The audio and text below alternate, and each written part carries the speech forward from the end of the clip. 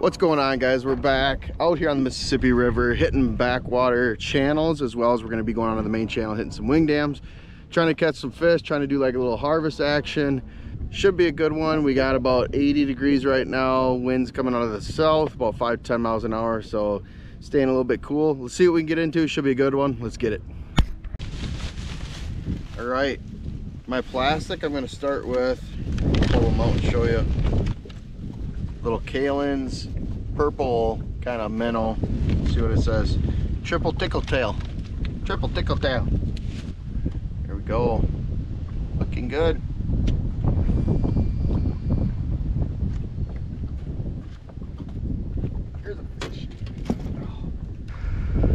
Little gilly. This is what I was afraid of.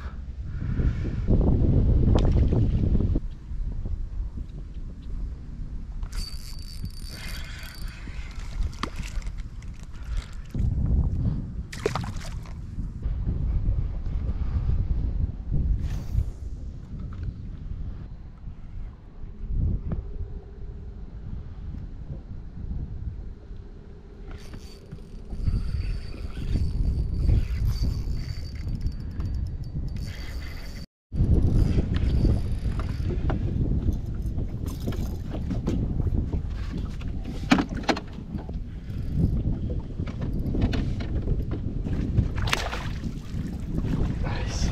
Yes. Let's go, baby. Let's go, baby. Oh my goodness.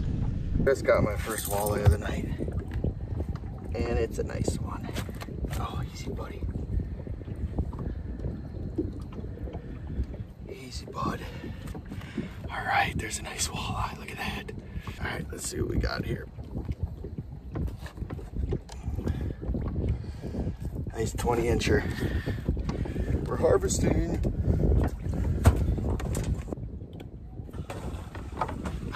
Let's go. A couple small perch and a couple gillies and then get a nice walleye. That baby hit on a nice little minnow imitation plastic. There's so much like little minnows like this right now in the water. Just copying them and everything's hitting it. 20 incher, probably the the longest that I would keep.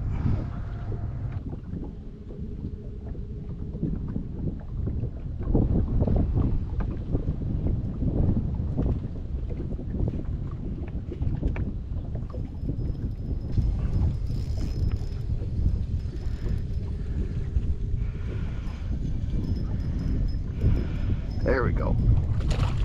Oh.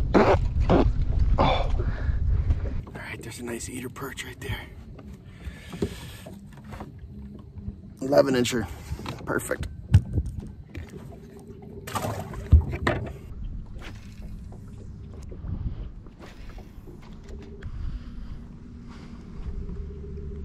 All right, well that was for about a half hour, 45 minutes. We're gonna start hitting wing dams for a little bit. It's 510 right now so we're gonna go hit a wing dam a couple wing dams for maybe an hour and a half and then actually come back here. Hopefully it picks up at night.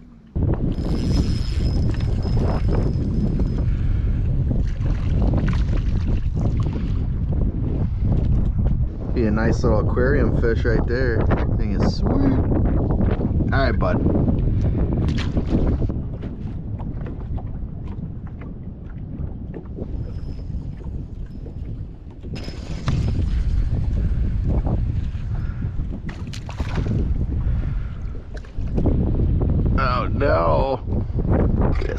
Grease nut. Later, dude.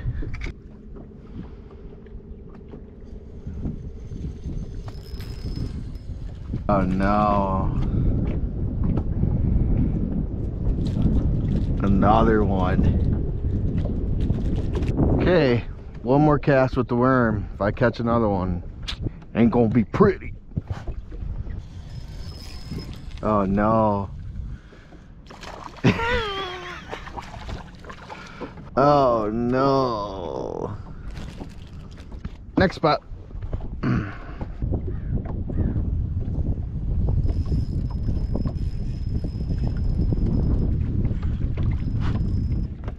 Nice gilly there. Eight incher, perfect eater.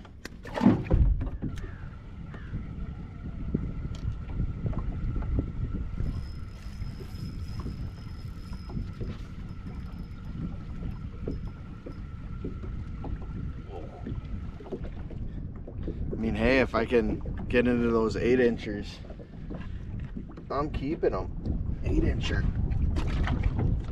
All right, well, pulled a couple gills there. On to the next spot.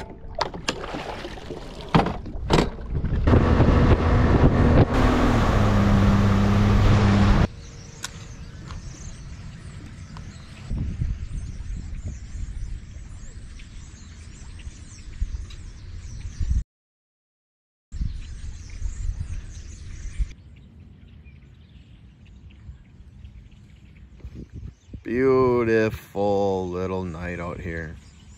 And we got ducks flying all over the place. Starting to get me into the mood. All right, starting to quiet down a little bit here. I'm gonna bleed these fish out. Two of them that got hooked deep are already dead. Just gonna cut these guys' gills, toss them back in. Right there.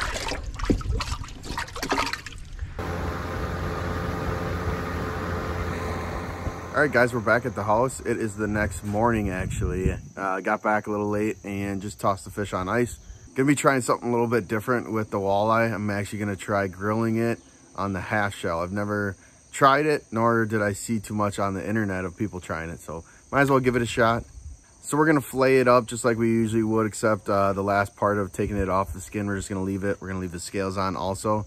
And then uh, we'll get the grill fired up, give it a shot.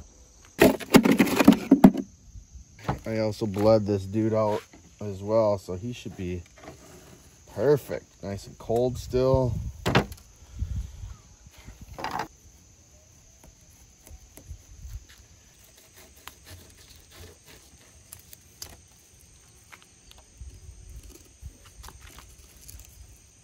And here comes the bees. Who would have thought?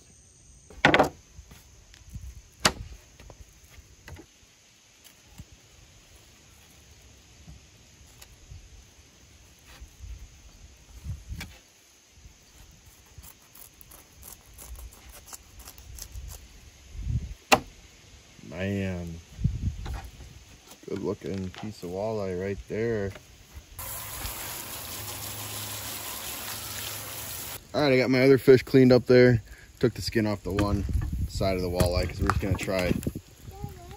We're just gonna try one side because I'm not sure how it's gonna go. But anyways, before I do it, I'm just gonna take the pin bones out. You can kind of feel them right here. Try not to take too much meat off. I'll just kind of go sideways. Should just kind of pull out. There we go. I also might make uh, just some slices, kind of like that, so that when I season it and butter it, everything will get into the crevices.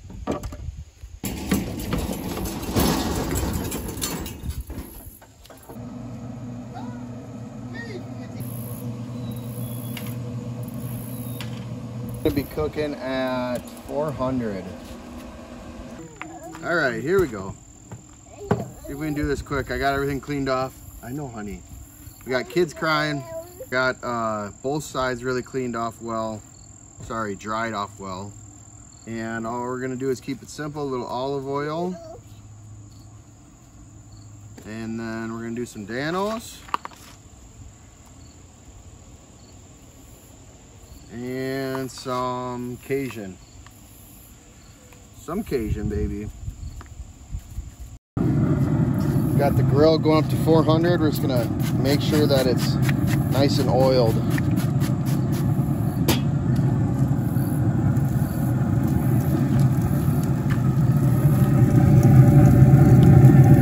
There we go. Probably give it like five minutes and then I'm actually gonna brush some melted butter on it keep it kind of moist after five minutes and then we'll check it and just kind of go with the flow.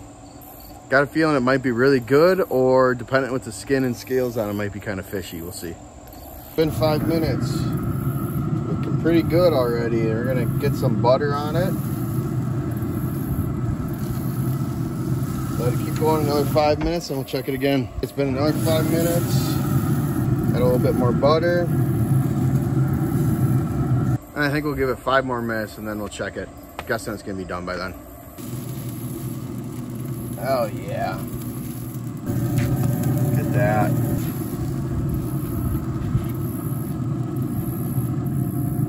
Looking good. Look at all the juices come out already.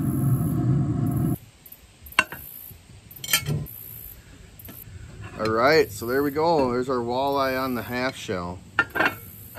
Looks good, smells good. Should come right off of the skin there.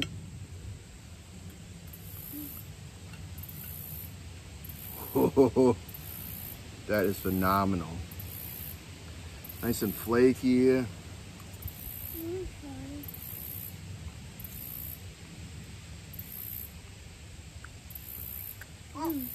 Good? I'll show you guys that it's like super easy to take off the skin.